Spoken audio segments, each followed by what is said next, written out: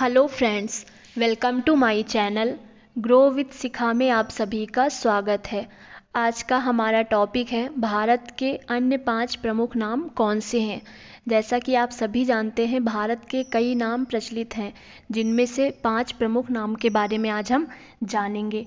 भारत के अंग्रेज़ी नाम इंडिया की उत्पत्ति सिंधु शब्द से हुई है, जो यूनानियों द्वारा चौथी सदी ईसा पूर्व से प्रचलन में है। इंडिया नाम पुरानी अंग्रेज़ी में नौवीं सदी व आधुनिक अंग्रेज़ी में सत्रहवीं सदी में मिलता है। तो भारत के पाँच प्रमुख नाम कौन से हैं, आइए जानते हैं। पहला नाम है भारतवर्ष जम्बूद्वीप और दूसरा नाम है भारत खंड तीसरा है आर्यावर्त और चौथा है हिंदुस्तान। पांचवा है हिंद। ये पाँच प्रमुख नाम हैं।